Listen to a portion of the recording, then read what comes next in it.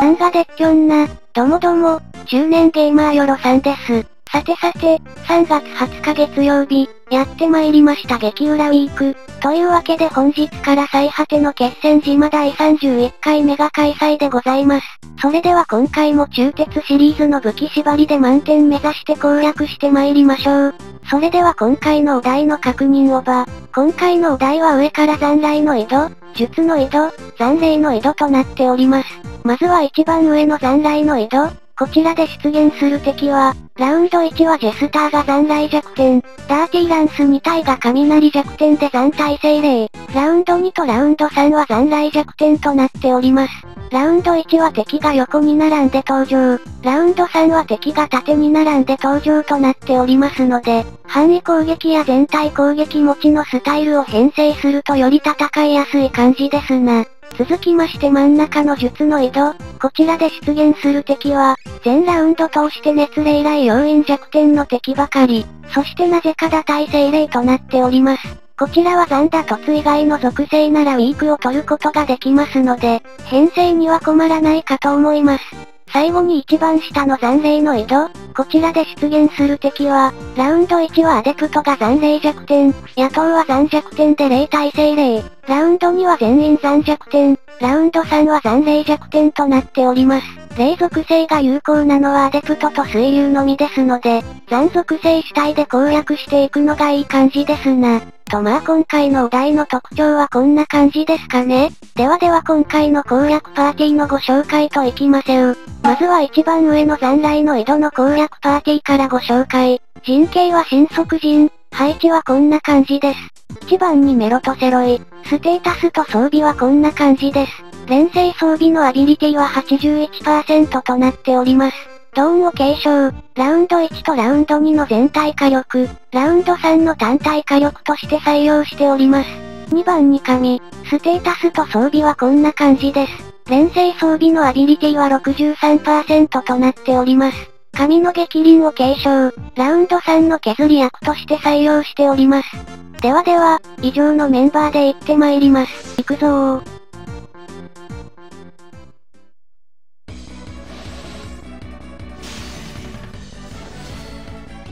ラウンド1はメロとセロイのチェーンライトニング。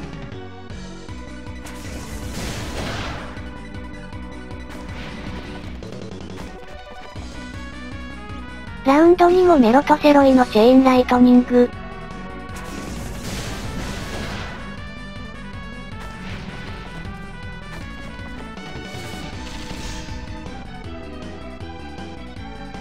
ラウンド3は神の OD 神の激鱗からの追撃で削りまして、メロとセロイのドーンで終了です。神のご機嫌次第では運悪くここで突破してしまうことがございます。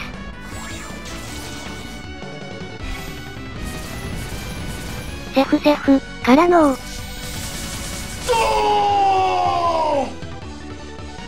てな感じで6手で終了。ギリギリ満点ゲットですわ続きまして真ん中の術の井戸の攻略パーティーのご紹介。陣形は友人会。配置はこんな感じです。1番にエスパーガール。ステータスと装備はこんな感じです。錬成装備のアビリティは81%となっております。ホーンテッドパンプキンを継承。ラウンド1の全体火力。ラウンド2とラウンド3の横一列火力として採用しております。ではでは、以上のメンバーで行ってまいります。行くぞー。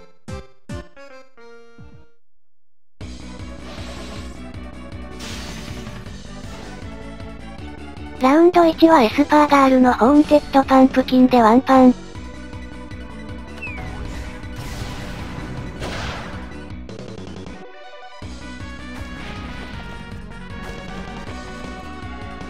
ラウンド2はエスパーガールのロストフレアでワンパン。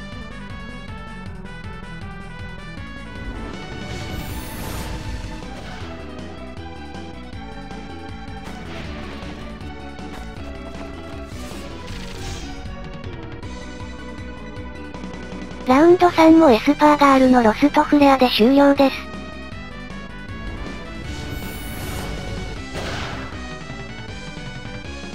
てな感じで3手で終了。満点ゲットでございます。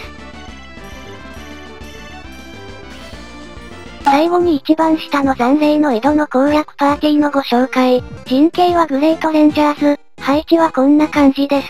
1番にジューン。ステータスと装備はこんな感じです。連星装備のアビリティは81%となっております。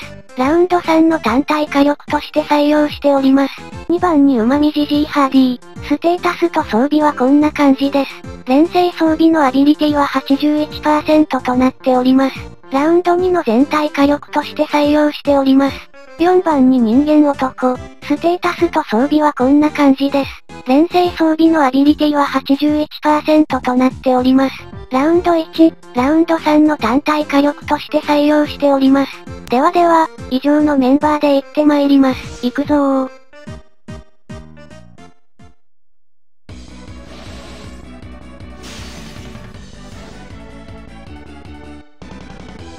ラウンド1は人間男のバズーカチェーンソーからの武装3段で似て突破。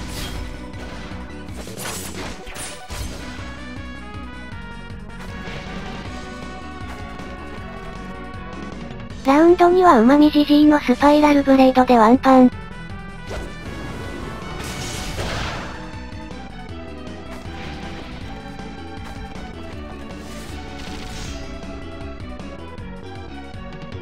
ラウンド3はジューンのブレイブソード、人間男のバズーカチェーンソーで終了です。